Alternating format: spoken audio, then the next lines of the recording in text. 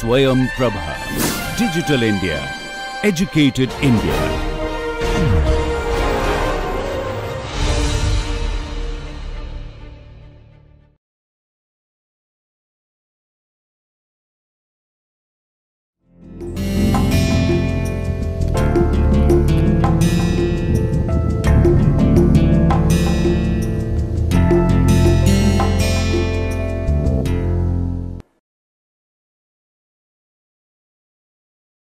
Namaste.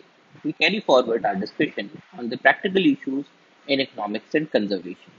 And in this lecture, we shall have a look at the valuation of natural resources.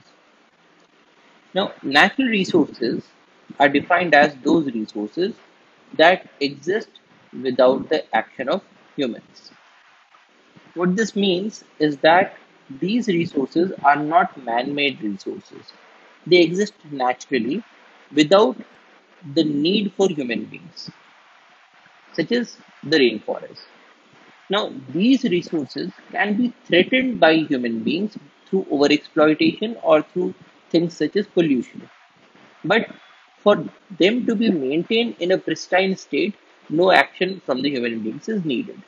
So, these are the natural resources that exist without the action of humans. And natural resources can be divided into several categories. On the basis of origin, we have biotic resources and abiotic resources. Now, bios means life. So, biotic resources are those that are coming from living matter, such as timber. And we can also include things such as the wild animals under the biotic resources, or things such as the seaweeds or the corals now, all of these play a very important role in the maintenance of our planet Earth because they play a very big role in uh, the modulation of the climatic cycles.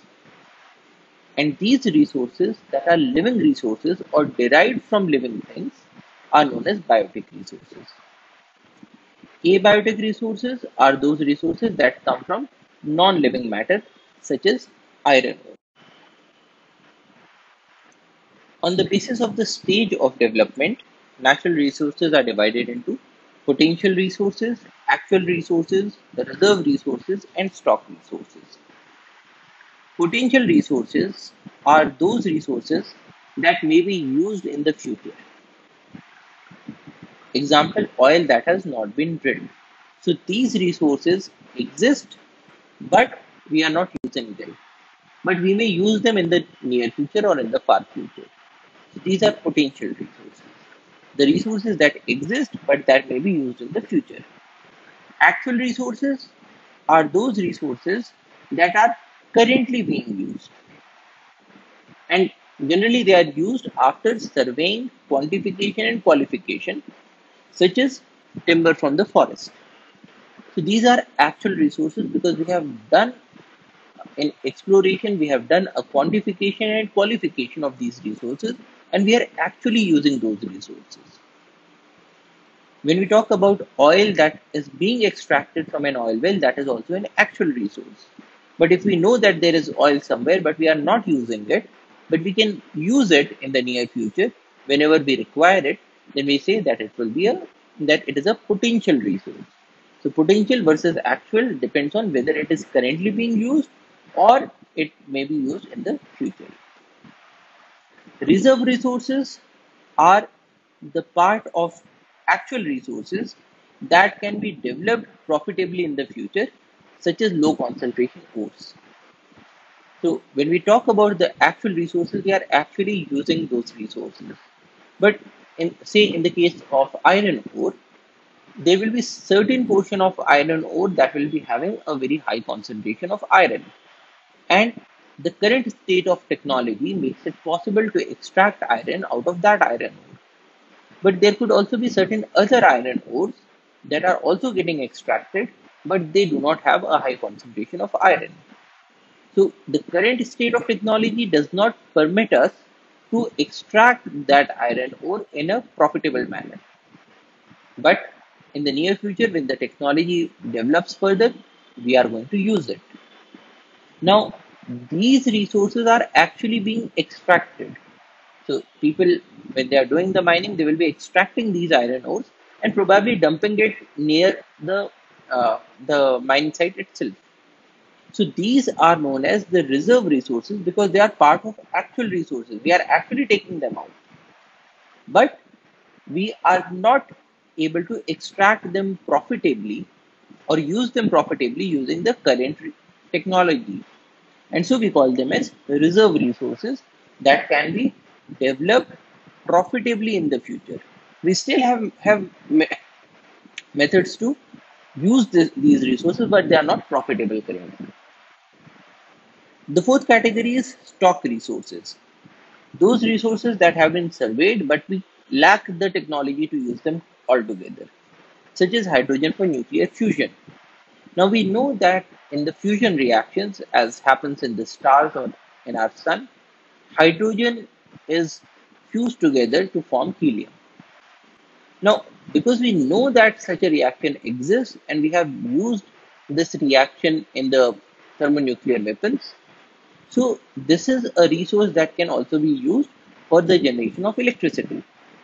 If we could control the nuclear fusion, we could use it in the generation of electricity. But currently, we do not have the technology to do that. So even though we know that we have plentiful of hydrogen in uh, the water in our oceans, we currently lack the technology to do this fusion reaction in a controlled manner. And so we will call them as stock resources.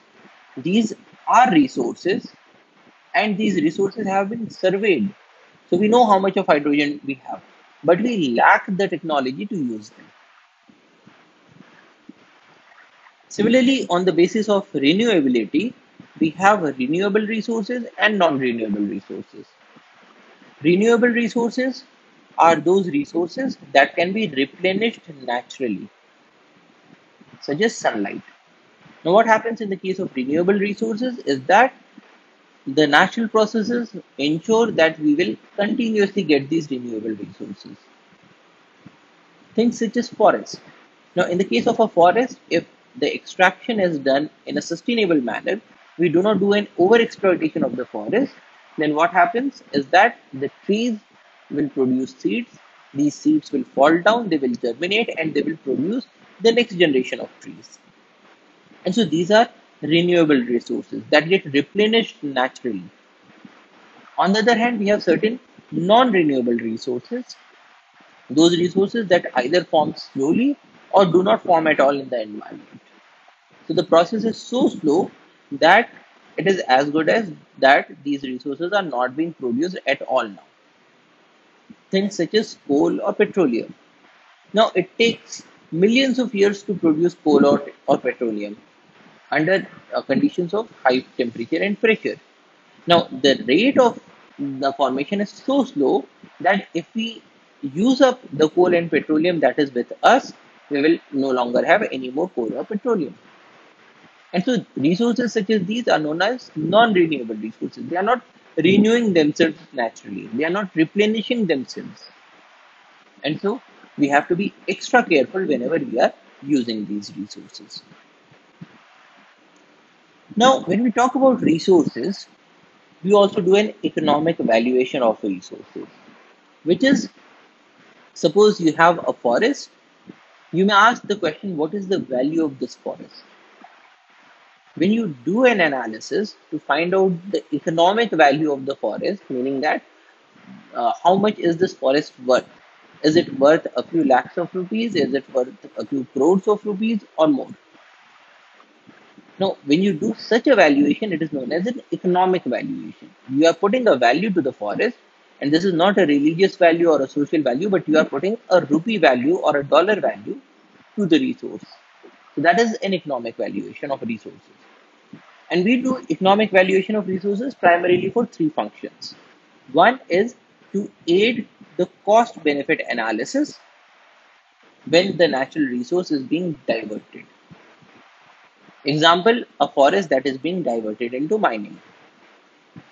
Now, these sorts of situations arise again and again. We have limited forests, and the land over which the forests are standing, they can also be used for several other purposes, things like mining. or things like making a road, or things like even agriculture or making up of residential areas or industrial areas. Now, whenever we get a proposal like that, we need to do a cost benefit analysis, which means that we ask the question that okay, if this forest is getting diverted, and suppose we will divert it and form a mine.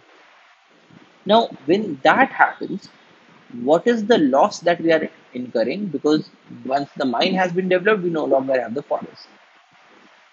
Which is what we are saying here is that you have a forest and the proposal is to divert it into a mine. Now, suppose the forest is worth rupees 50 crores and the mine is worth rupees 30 crores. Now, in such a case, once you have the mine, you no longer have the forest. So, you are giving up a thing that is worth 50 crores to get something that is worth only 30 crores.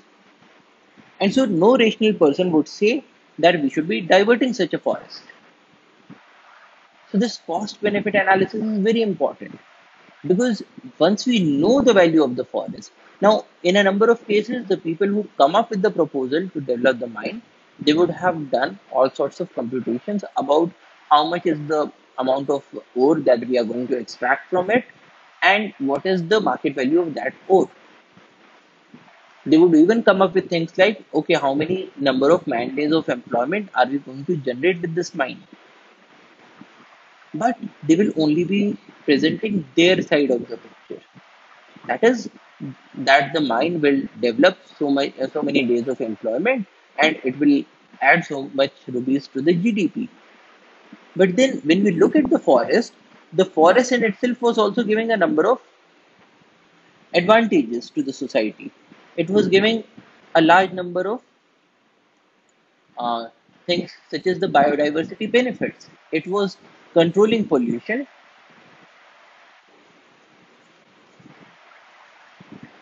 It was making the rivers flow. It was a storehouse of biodiversity. And this biodiversity is very important whenever we get a new disease, for instance. Because if there is a new disease, you have to look for a cure. And in a number of cases, we get cures from the secondary metabolites that are there in several plants. So, if you have the plants, you can extract the secondary metabolites and probably in a short while also make them chemically. But then to test these chemicals, we need these chemicals. And these chemicals will only be there in the plants. So a storehouse of biodiversity is important because we may use these uh, bioresources in the near future or in the distant future. Now, when this forest is diverted into mine, all of these things and probably a lot more are gone. There is no longer a, a tourism uh, potential in this area because people want to visit forest to watch tigers. Nobody wants to go to a mine and see how the mining is done. So the tourism potential of a forest is a very large. Probably this tourism potential was also providing employment. Probably it was a potential resource, if not an actual resource. Which means that if the forests are beautiful, if they have uh, wild animals like tigers, then these are potential resources. Maybe we could have developed them into a tiger reserve. But once you take this decision to convert them into a mine, then you no longer have the forest and once you do not have the forest it is not no longer an actual or a potential resource from the forest point of view. So we need to make these computations about what is the worth of the forest and what is the worth of this mine. And only then will we be able to make a correct decision. So economic valuation is important to aid the cost benefit analysis when the natural resource is being diverted. Example a forest being diverted into mining it is also important to provide evidence to aid the habitat conservation policies by highlighting the economic value that is associated with conservation. Example watershed benefits. Now, the thing here is that the forests are very important to ensure that the rivers flow. Now, what happens in the case of uh, forest is that suppose you have mountains and there is a river that is flowing. Now, when it is the rainy season, when it rains, now in our country we have the rains only in very few number of months in a year. In most parts of our country, we get rains only in the monsoon season. In certain areas, we also have winter rains. But that is all. In most of the cases, we will not have a rain, say, in the month of March or in the month of April. Now, what happens is whenever you have the rainfall, the water that is falling down, if there are no trees, then this water will just flow over the surface of these hills, reach into the uh, river, and whenever it is raining, then we will have a huge amount of water in the rivers, which means that we will be having a flood-like situation. And when the uh, when it is not raining, then there is no water that is getting into the rivers, and so we will have a situation of drought. Now, in such a scenario, when you have consistent floods and droughts, then that river is not very useful for human beings because we are not assured whether these rivers will be flowing or not. Now, what happens with the case of trees is that when you have trees on these mountains,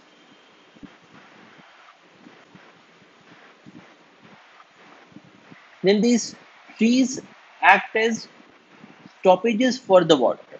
That is coming down in the form of rain. So, the rain droplet that falls on the uh, tree canopy it will be stored in the tree canopy for some period of time. And then slowly and steadily it will come down.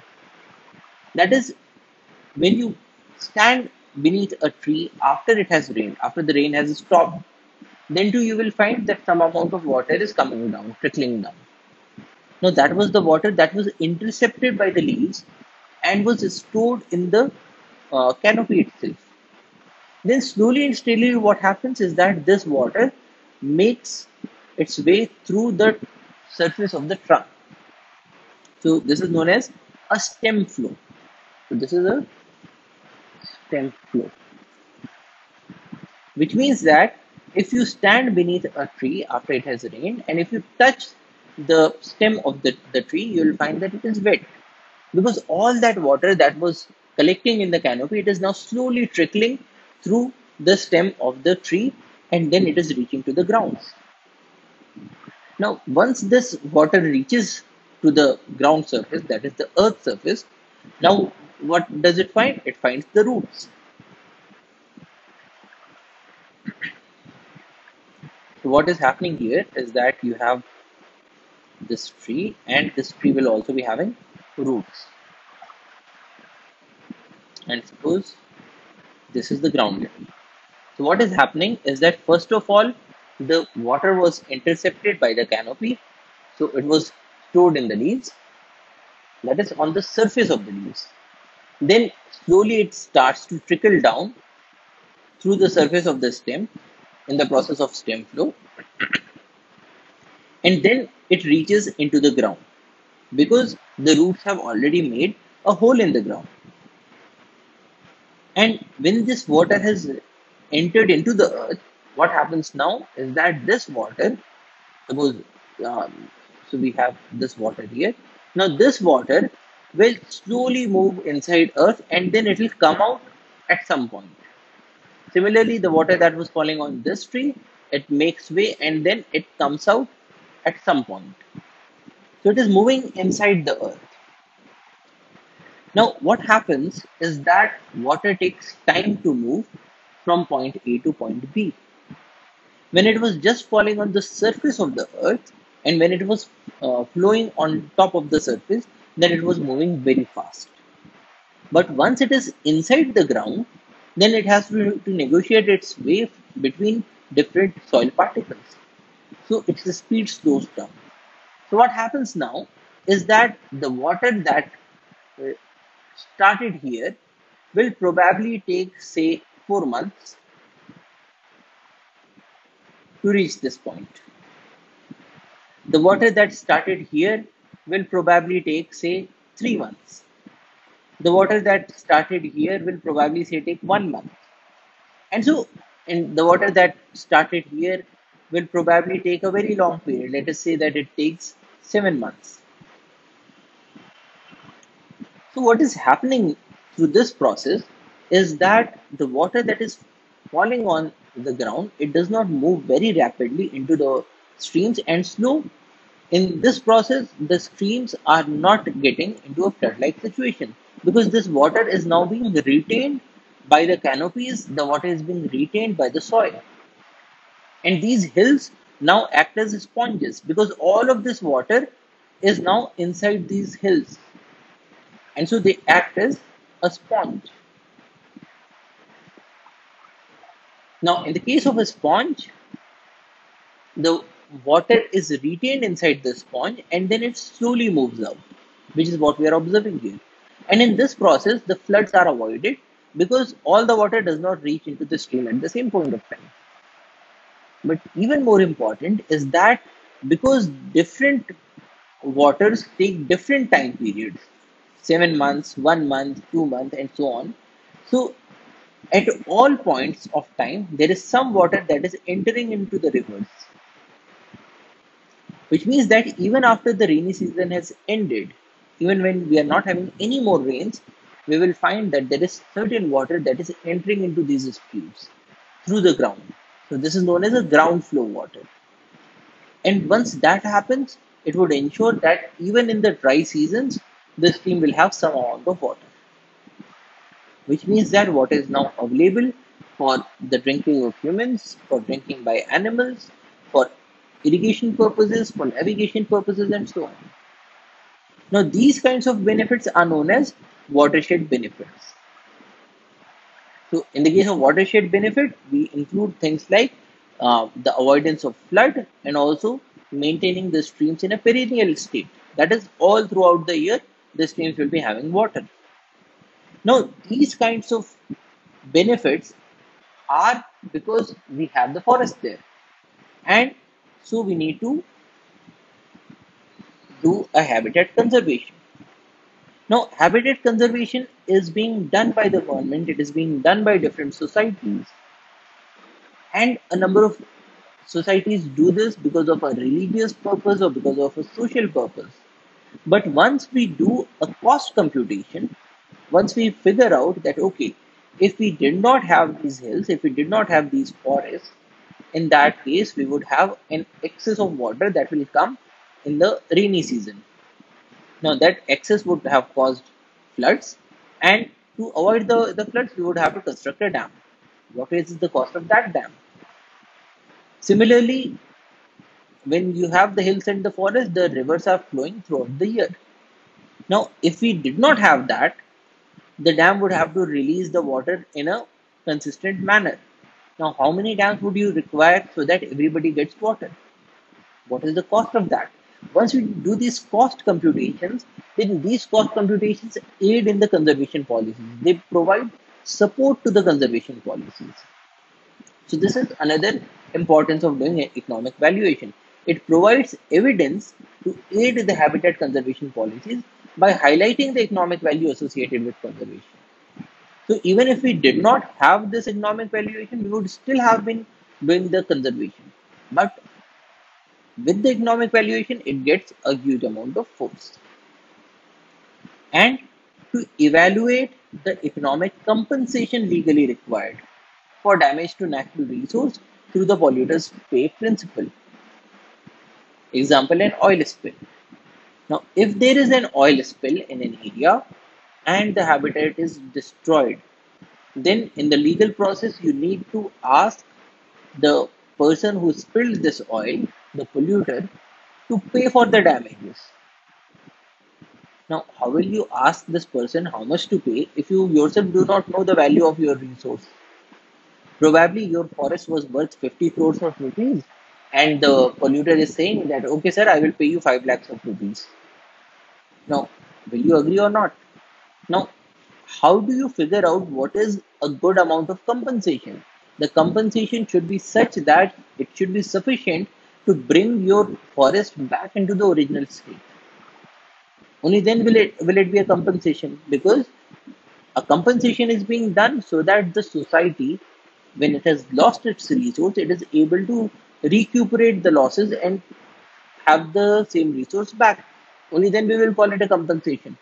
But if you do not know the value of the resource how will you ask for a compensation? What is the amount of compensation that will be so this is another reason why we do the economic valuation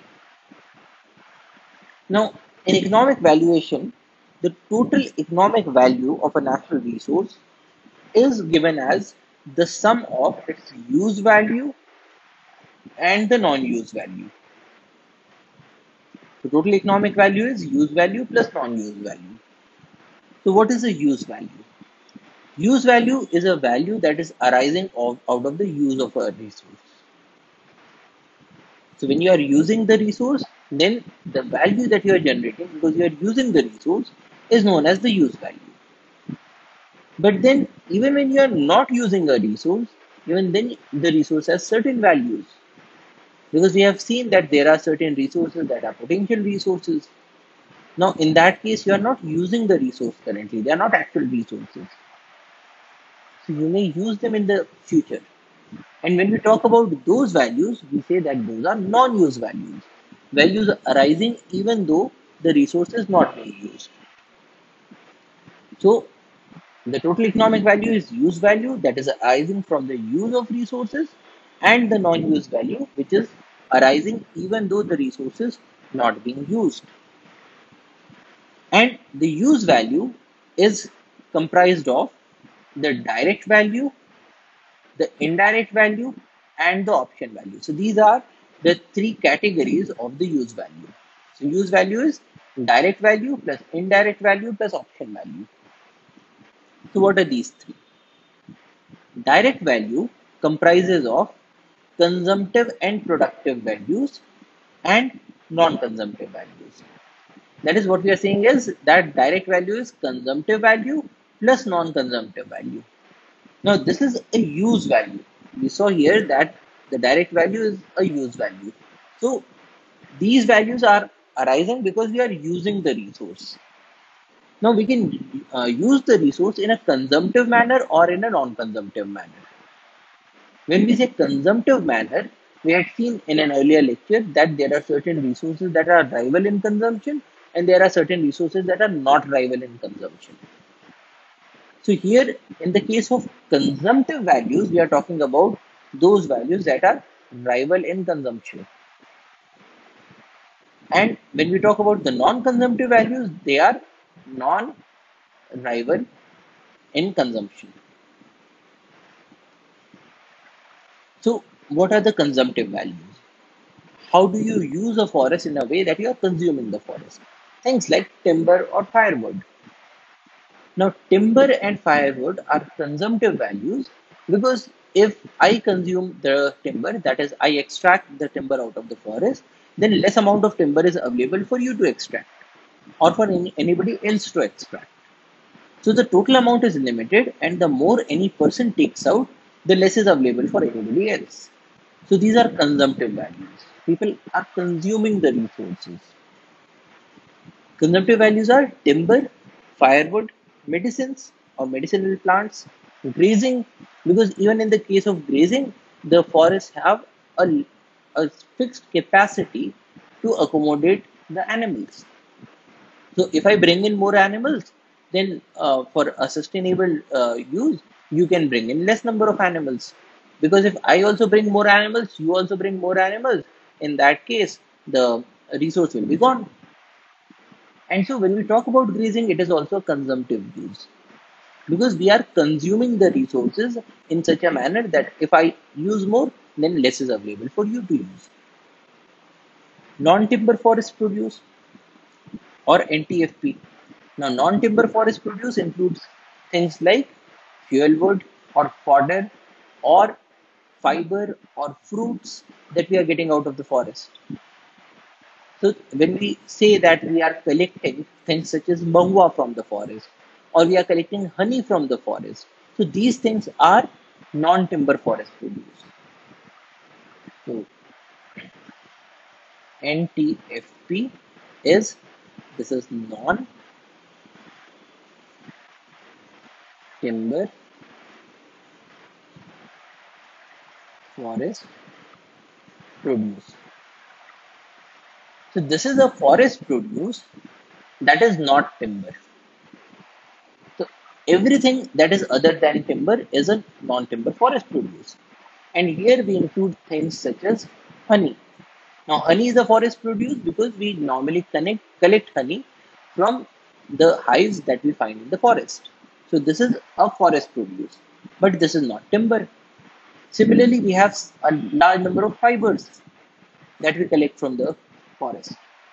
We mm-hmm. have a number of medicinal plants that we collect from the forest. There are a number of aromatic compounds or aromatic oils that we collect from the forest. We also have things like mushrooms that naturally grow in the forest and we collect them from the forest. So all of these things are non-timber forest produce and these are all consumptive values of the forest. Because if I consume more of the honey, if I extract the honey, then less honey is available for anybody else to extract. Water. Water is another consumptive value that we derive from the forest. Non-consumptive values include things like recreation or ecotourism. Now, in the case of recreation or ecotourism, it is a non-rival in consumption, which means that if I go to the forest and if I watch a tiger and I feel happy about it. Now, here I'm using the forest to see a tiger. So this is a use value. And I'm directly using the forest. So this is a direct value. But when I see the, the tiger, then it does not reduce the value of the tiger. So when you see this tiger, then the the quantity or the quality of tiger has not gone down because I have seen it before. So this is a non-consumptive use. So things such as the recreational purposes. If I go to uh, a forest and I uh, find that this forest is very beautiful and I enjoy the surroundings, I enjoy the peace and tranquility in the forest that I am seeing. And when you come to this forest later on, then if I have not used the forest in a way that if I have not littered into the forest, if I have not spread waste into the forest, then there is no change in the value. And when you go to the forest later on, you will also enjoy the forest. So things like ecotourism or recreation are non-consumptive values. Similarly, we have education and research. So if I go to the forest and if I do a research project about say how does tiger regulate the population of deer, I do this research. Now when I do this research, I'm just going into the forest i'm counting how many tigers are there, how many deer are there, when do they hunt, how do they hunt, and so on. Now, in this process, I am neither reducing the quantity of tiger or deer nor am I reducing the quality of tiger or deer. Now later on, suppose you come up with a uh, with another research proposal that how does tiger regulate the uh, the growth of say some birds in the forest. So when I have used the forest to do my research work, it has not reduced the quality or quantity of the forest for you to use it as a research uh, area. So this is again a non-consumptive use of the forest. Similarly, human and wildlife habitat. So, if I am using the forest as a wildlife habitat, or if I am using the forest as a human habitat, so if there is, say, a, a rest house in the forest, I go into the forest and I use that rest house because it has a very beautiful surroundings. Later on, if you go into the forest, you stay in the rest house, then it does not matter whether I have stayed before or not as long as I'm using it sustainably and I'm not destroying it. So these things are known as the non-consumptive values that we derive from the forest.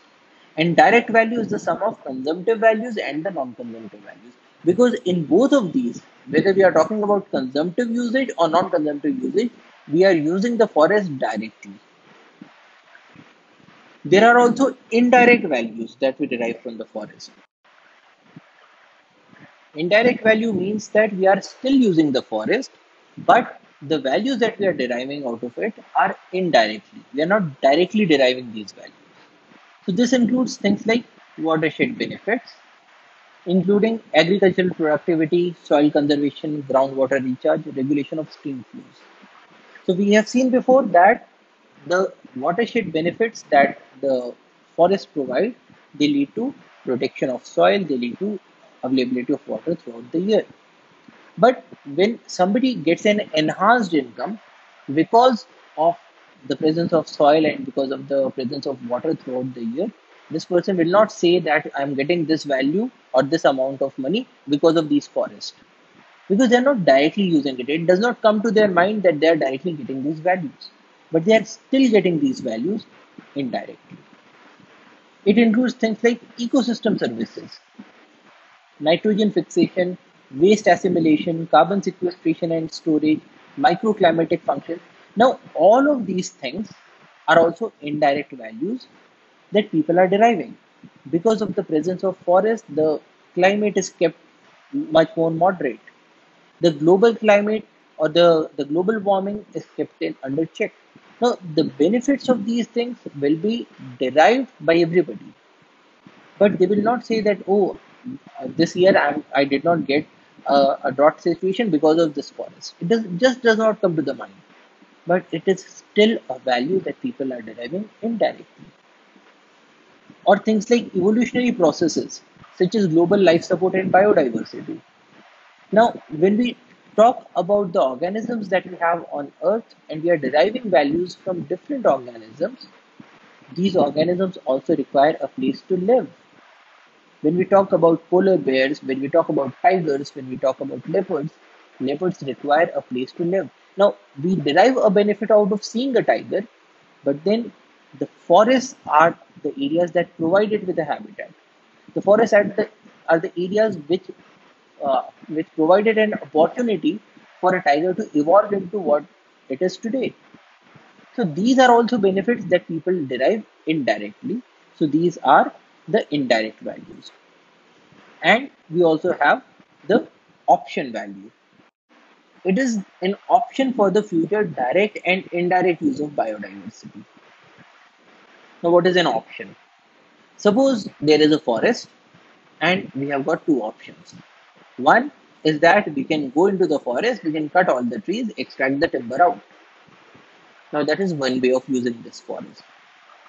But you may also say that no, this forest has certain biodiversity and I might use it in the future. So, I'm not currently using it, but I might use it in the future. So, let us keep it as a forest. Now, this value that you derive for a future use is an option value. You can make a correlation by saying that suppose there is a house and you want to purchase this house. Now, you can buy this house for say rupees 60 lakhs. But there is also another house that you think that okay, this is also a good house. I might purchase this house again so you are not sure whether you will buy this house and suppose this house is worth 65 lakhs and this house is 60 lakhs. Now you are not certain which house to buy. Probably you will ask a few of your friends, you will ask a few of your family members, you will do a bit more research, you will do a bit uh, a, a bit more amount of field visit to make up your mind which house to buy. But then when you are in this process, the uh, the seller of the house might say that okay sir you are taking so much amount of time so let me sell this house to somebody else because there are so many people who want to buy this house now the thing is you have not decided which house to buy but you are sure that you are going to buy a house so what you can do is you can tell to these sellers that okay I want you to keep this house for me for say the next two months. So I, by the end of these two months, I will make up my mind. So can you please keep this house and not sell it to anybody?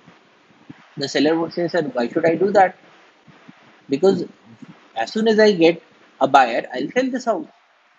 So you tell to these sellers that okay, I'm going to pay you twenty thousand rupees, and I'm paying you to these twenty thousand rupees so that you do not sell these houses in the next two months. That is what you are doing. Is that you are paying rupees twenty thousand for this house, and you are paying rupees twenty thousand for this house, just to keep it like that for the next two months till you are able to make up your mind. Now, this amount that you have paid, 20,000 here and 20,000 there, is an amount so that you retain your option. So you are paying this amount so that these houses are not sold before you make up your mind and you retain an option on both the houses. This is an option. Similarly, when we say that there is a forest and we are not extracting this forest, we are not taking out all the wood because we might use it in the future. Now, we do not know when we are going to use it or whether we are going to use it, but we still want to maintain an option on the forest. That later on, should we decide that we are going to use this forest for, say, um, getting a particular drug, then this forest should remain. Now, this is a value that we derive from the forest just by keeping it as such. So, this kind of a value that we derive is an option value, an option for the future direct and indirect use of biodiversity. So, these are the three different use values direct values, indirect values, and option values. Similarly, we have the non use value, value that is arising even though the resource is not being used. And here we have existence value, altruistic value, and bequest value. So these are three non-use values. So what are these? The first is existence value. This is the value deriving from the knowledge that the resources continue to exist. What we are saying here is that we know that there are polar bears and a lot of us would have seen polar bears probably on the television. Now, suppose one day you get to know that all the polar bears have become extinct. How will you feel about that? Probably a lot of us will feel very bad that polar bears are now extinct. But now, if you think about it, you are not using a polar bear. You are not using a thing like the pandas. You are not using the whales that are there in the ocean. But even then, if these animals become extinct, you will feel bad that you now no longer have these animals on the planet. Now you have lost the chance to ever watch these animals, or your children and your grandchildren have lost the, the chance to ever see these animals.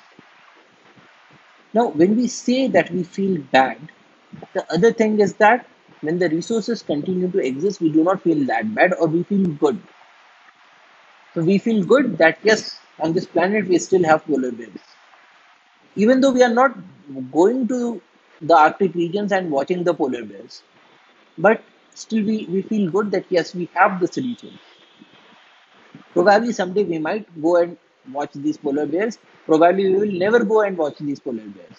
But still we feel good that yes, the polar bears continue to exist. Now, when we talk about these values, these are the existence values. This is a value that we derive from the knowledge that the resources continue to exist.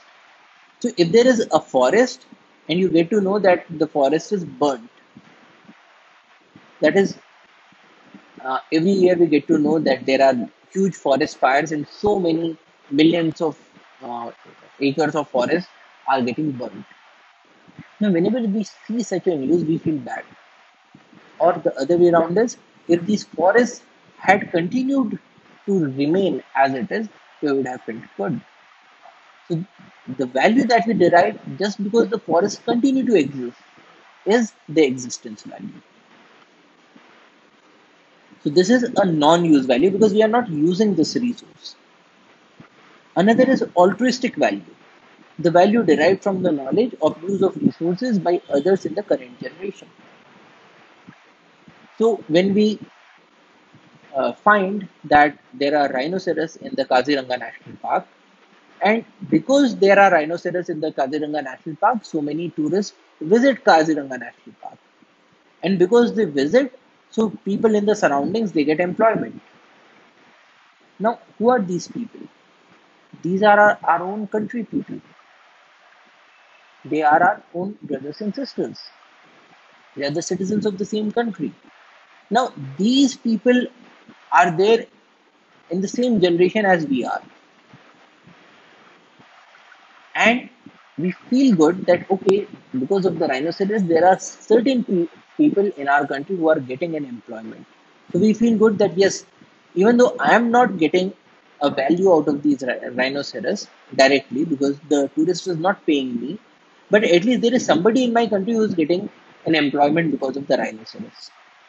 Now, this value that we derive because we are getting the knowledge of the use of resources by others in the current generation. Now, in this case, we are not talking about our children, we are not talking about our grandchildren. We are saying that yes, today there is somebody in our country who is getting an employment because of rhinoceros. Now, this kind of value that we derive because we are feeling good that there is somebody who is getting employment, this is known as, as altruistic value. Now, this is a non-use value because we are not using those rhinoceros. But we still feel good that yes, there are certain people in our country who are getting an employment, who are using these resources. So this is an altruistic value. And when we leave these values for our offsprings or future generations, then we will say that we are having a bequest value. So bequest value is when you ask the question that okay, today if I am generating a waste, today if I am polluting the environment, what am I leaving for my children and for my grandchildren? So everybody wants to leave the world in a better place for their children and their grandchildren than they are currently living in. And when we have this kind of a thought, when we say that okay, we uh, we are leaving these forests for our children and our grandchildren, we are ensuring that we still have tigers so that our children and our grandchildren can watch tigers. When we have such kinds of thoughts, then the value that we derive because we have tigers for our children and our grandchildren is known as a bequest value. So this is another non-use value. Now, given that we have so many values, we can now talk about the methods of valuation. How do we put a rupee value or a dollar value to all of these different values? So there are three accepted approaches for valuation of the natural resources. The first one is known as market prices or the revealed willingness to pay. In the case of market prices, we have th- uh, three main methods. One is the market price method, the hedonic pricing method, and the travel cost method. The market price method asks the question that okay, if we use these different values, what is the market price for each of these? That is, when we talk about the market price method, for a forest, we will say that this forest has timber. Now, if we extract all of this timber, what is the amount of money that we will get by selling this timber? So let us say that the amount that we'll get is 30 crores of rupees. This forest also has water. Now, if we extract all of this water and we try to sell it off, what is the amount that we will get? Suppose we will get three, uh, 10 crores of rupees. In this forest, we have a number of animals, such as fishes.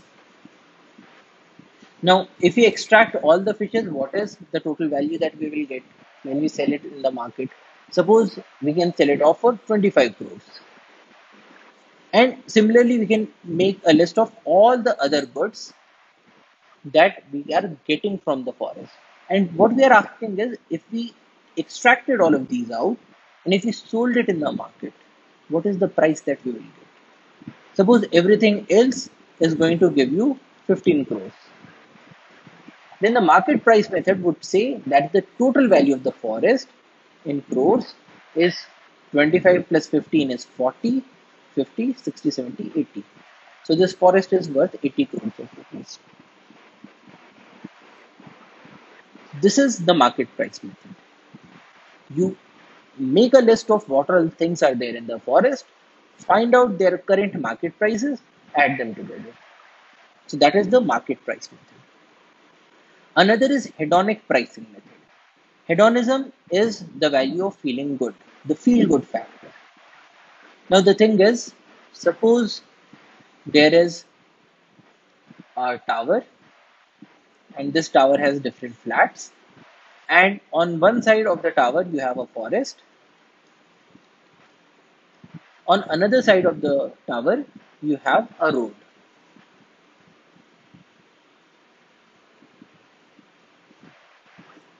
So here you have a road. And on this road there are vehicles that are flying and there is a huge amount of noise that we get and it does not look good. But if you look at the forest it looks good it's a beautiful forest now, when that happens, and when the flats are put up for sale, the and suppose you have these uh, two flats, A and B. Now, the person who gets the flat A will get to see the road, and a person who buys the flat B will get to see a forest. And typically, what we observe is that the flat B is sold at a premium because it gives a very good view. So it is very similar to having a sea facing view. So sea facing plots or flats they cost much more than a non sea facing uh, flat. And similarly here a forest facing uh, flat will cost much more than a non forest facing flat. Now the hedonic pricing method asks this question that people are paying this premium because they are deriving a benefit in the form of happiness in seeing this beautiful forest. And so if we did a computation of the prices of all of these and the prices of all of these, the difference is because these portions are towards the forest. So the difference in prices between both of these will give us a certain amount of value that is coming from these forests.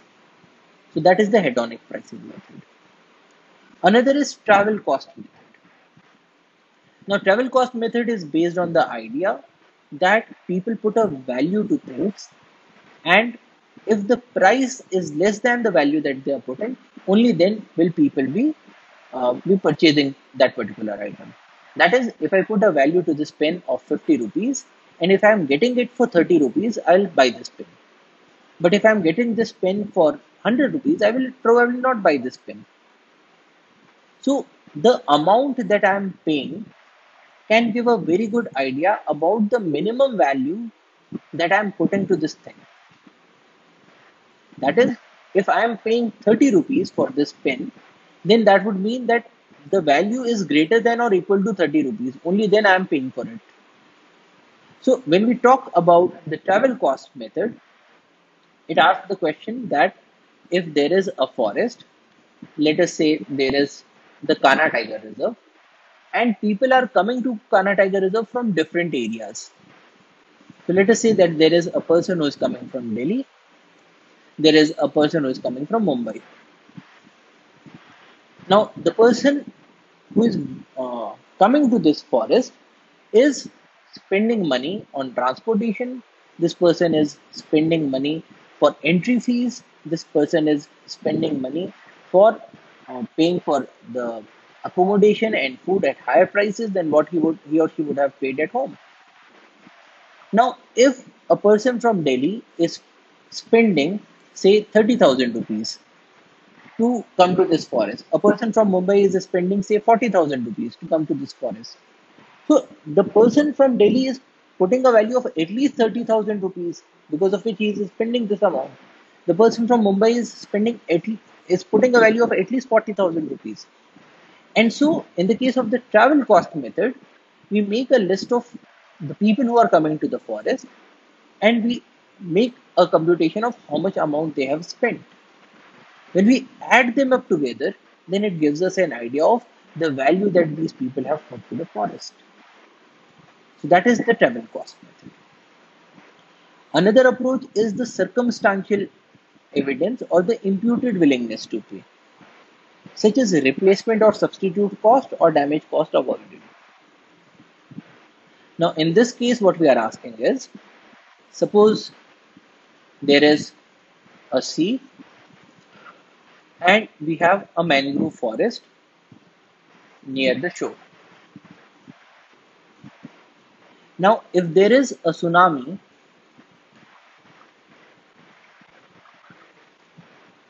then all these areas will get inundated with water and there will be a loss of life, there will be a loss of property. Now, when we talk about the damage avoided, we are asking the question that if our uh, mangrove forests were not here, because mangrove forests protect against the impacts of the tsunami, they act as barriers to the water that is coming in. Now, if we have the mangrove forest, then they are protecting the inland areas. If we did not have these forests, then there would be a damage that would be caused to the inland areas. What is that damage? And when we do a computation of what would be the damage caused if we did not have this natural resource, and we put that value to this forest, that this forest is giving us a protection that is worth 1000 crores of rupees then that is a damage cost avoided method of valuation. On the other hand, we could ask another question that if in place of having this forest, if we removed all the trees and if we constructed a wall along the shore, now this wall would also protect us against the tsunami. But the construction of this wall will cost us money. So what is the cost of construction? What is the cost of maintenance? So that is the cost that we would have to spend to have the same level of protection if the mangrove forest was not there. When we ask that question, we are asking about the replacement or the substitute cost. How much does it cost for the replacement of the natural product or the natural resource? If we did not have the forest, we would have to construct structures to prevent soil erosion. How much would those structures cost? If we did not have the forest, we would not have clean water and we would have to start a plant to clean the water. What would be the cost of constructing and running that plant? So that is the cost of the replacement. So this is also a method of valuation of the natural resource. And a third method of valuation is surveys or express willingness to pay, such as the contingent valuation method. Now, in this case, you ask people the question that, okay, there is this forest, and you give them a hypothetical situation that the government has decided that this forest should be cut down. But if the uh, and the government is uh, cutting down this forest to sell off this land but if we pay to the government in the form of a tax, then probably the government will not cut down these forests. What is the maximum amount that you are willing to pay? Now, the people who are deriving value from the forest will put up certain amount. Okay, I am ready to pay 20 rupees, or I am ready to pay 1000 rupees, or I am ready to pay 10,000 rupees. So, depending on the amount of value that they are putting to the forest, they will come up with certain figure. Now this is a completely hypothetical situation, but we are getting an indication of the amount of value that people are putting into the forest by the amount of money that they are expressing that they will be willing to pay for the continued existence of the forest. So that is known as a contingent valuation method through surveys or express willingness to pay.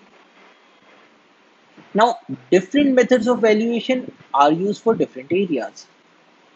And we can choose between th these different methods depending on the situation that we are addressing.